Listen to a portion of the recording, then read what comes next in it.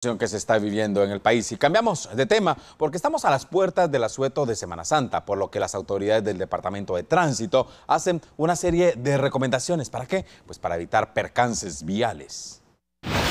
También siempre hay que verificar que los cinturones de seguridad se utilicen correctamente. Abróchense el cinturón de seguridad y asegúrense que los pasajeros también usen el cinturón de seguridad. En el caso de los motoristas les recomendamos siempre utilizar el casco protector, así como prendas reflectivas para ser más visibles en la vía pública.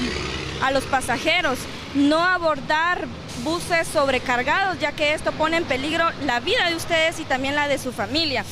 Y también a los peatones, utilizar siempre los espacios destinados para peatones, en este caso las banquetas, los pasos de cebra, las pasarelas, que es muy importante para que cuiden su vida.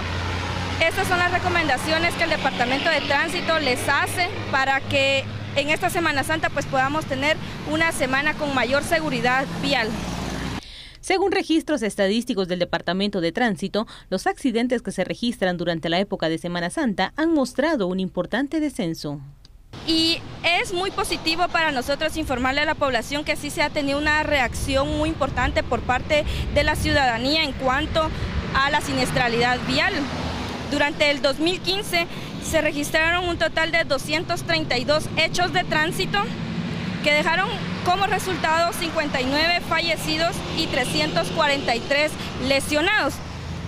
Durante el 2016 sí se reporta una baja de siniestralidad, el cual quedó en 172 hechos de tránsito registrados, 44 fallecidos y 289 personas lesionadas.